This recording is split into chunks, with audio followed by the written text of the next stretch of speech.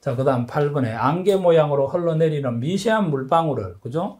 여기에서 미세한 물방울이다라고 하는 것이 이게 우리가, 에, 뭡니까? 핵심 용어가 되겠죠. 그렇죠? 미, 미세한 물방울을 공기하고 직접 어, 접촉을 시켜서 물방울하고, 그죠? 물방울하고 공기하고 서로 접촉을 시켰다. 그래서 공기하고 세정, 미세한, 그죠? 물이다. 세정, 그죠? 자, 이것을 우리가 2번으로 여러분께서 정리를 해 놓으시면 되겠죠.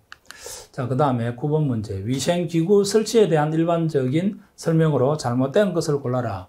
자, 이것이 우리가 9번 문제가 되겠는데요. 그죠? 9번 문제가 되겠는데, 세면기 급수전의 위치는 일반적으로 작업자가 전방으로 서 있는 위치에서 냉수는 우측에, 온수는 좌측에, 냉수는 우측에, 온수는 좌측에 오도록 부착한다.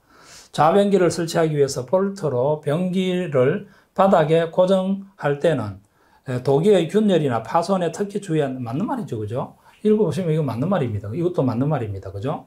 욕조는 온수와 많이 접촉되므로 콘크리트 매설을 피한다. 자, 일반 가정용 좌변기에는 로 탱크식이 많이 사용이 된다. 관, 급수관의 지름은 DN25, 세정밸브 DN32를 어, 연결해 준다. 이렇게 되어 있는데 말입니다. 그죠?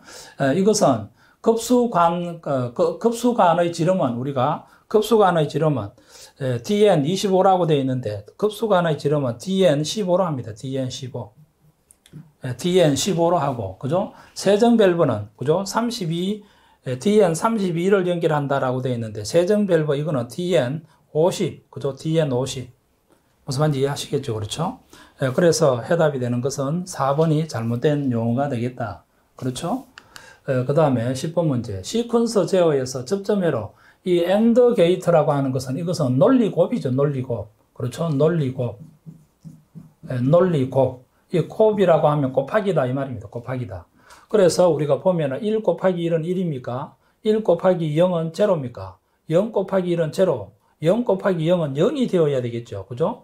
예, 논리 곱이니까 그렇죠? 논리 곱이니까 이렇게 어, OR 게이트 같은 경우, 경우에는 그 더, 더, 더하기입니다. OR 게이트 같은 경우에. 무슨 말인지 이해하시겠죠? 그렇죠? 그래서 논리 곱, 그죠? 논리 곱, 논리 곱 회로를 우리가 AND 게이트라고 이야기를 한다. 무슨 말인지 이해하시겠습니까? 그죠? 자, A 곱하기 B는 R일 때, 여기에서 우리가 1을 의미하는 것이 A가 되는 것이고, 여기에 두 번째 나와 1을 의미하는 것이 에, 뭡니까? B가 되는 것이고, 요 R이라고 하는 것은 해답이 되는 것이죠. 그렇죠? 에, 무슨 말인지 이해하시겠습니까? 그죠? 그 다른, 어, 밑에 나와 있는 내용들도 다 여러분들께서 일맥 상통하는 어, 그와 같은 내용이 되겠다. 자, 그 다음 11번. 암모니아 가스 누설 위치를 찾기 위해서는 무엇을 어, 쓰는 것이 가장 좋은가? 이 암모니아가 우리가 누설되어 있는 것은 우리가 여러 가지 방법으로 우리가 알 수가 있어요. 암모니아는 특유한 냄새를 가지고 있습니다. 그래서 냄새로 확인할 수가 있다. 그 다음에 두 번째로 암모니아는 그죠? 암모니아는 염화수소하고 염화수소하고 염화수소를 우리가 결합을 시키게 되면 NH4Cl 염화 암모니움의 흰 연기를 발생을 시킨다. 그렇죠? 흰 연기를 발생을 시킨다.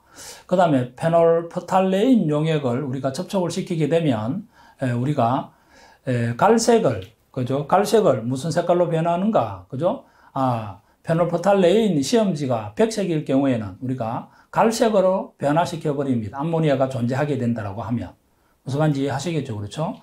그 다음에 네슬러 시약에 의해서도 우리가 노란색 침전이 일어납니다.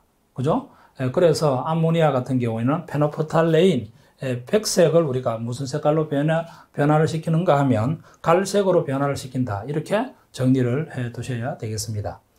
어, 그래서 가장 좋은 것은 우리가 4번이 되는 것이다. 그죠? 4번이 되는 것이다.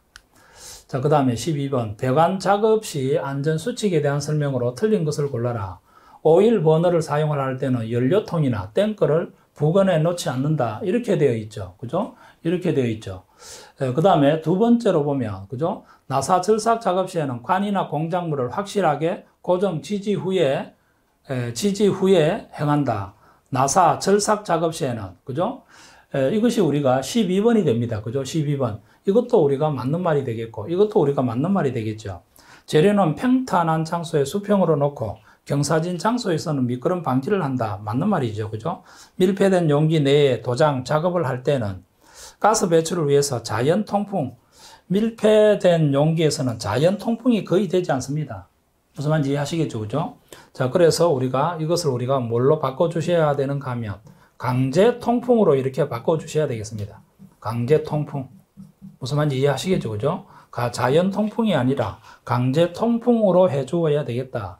이렇게 정리를 해 보실 수가 있겠습니다. 무슨 말인지 이해하시겠습니까? 그죠?